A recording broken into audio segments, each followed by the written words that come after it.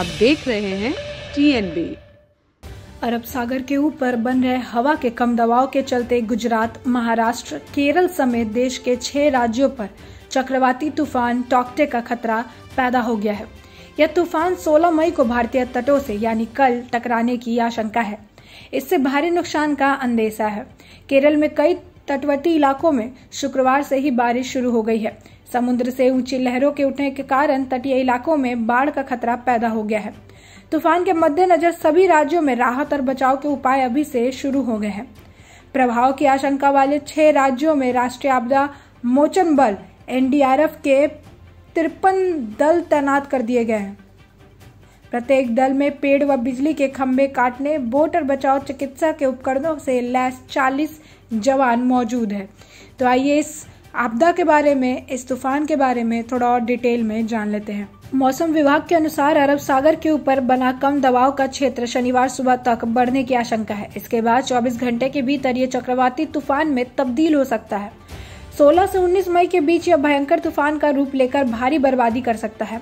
यह तूफ़ान 16 मई को भारतीय तटों से टकराने की आशंका है। सबसे पहले इसका गोवा, कोकण और मुंबई के नजदीकी तटीय इलाकों से टकराने के आसार है।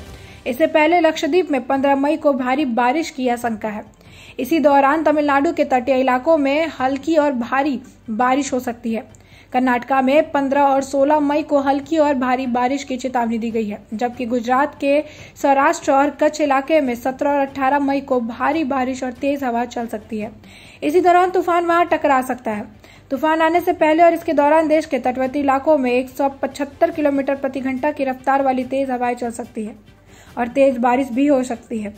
सभी राज्य सरकारों और लक्षद्वीप के प्रशासन को राहत और बचाव के उपाय करने के लिए कहा गया है। पर्यटकों और मछुआरों को इस दौरान समुद्र से दूर रहने के लिए कहा गया है। राज्य सरकार को तटीय इलाकों में बसी आबादी को अनंत भोजन की सलाह दी गई है। मौसम विभाग की चेतावनी के मद्देनजर केरल सरकार के तिरुवनंतपुरम, कोलम पतनाम तिठा, अलपुझा और एर्नाकुलम जिलों में भारी बारिश की आशंका वाला रेड अलर्ट घोषित कर दिया गया है, जबकि एनडीआरएफ ने तटवर्ती नौ जिलों में अपने इंतज़ाम किए हैं। टॉक्टे म्यांमार में चिपकली की पाई जाने वाली एक प्रजाति है। वहाँ से पैदा चक्रवाती तूफ़ान को यह नाम दिया गया है। अरब सागर के ज़रिए भारतीय तटों से टकराने वाला यह इस वर्ष का पहला तूफ़ान होगा। हमारे नए अपडेट्स पाने के लिए चैनल को सब्सक्राइब करें और बेल आइकॉन पर क्लिक करें। साथ ही आप हमारे वीडियो को लाइक एंड शेयर करना ना भूलें।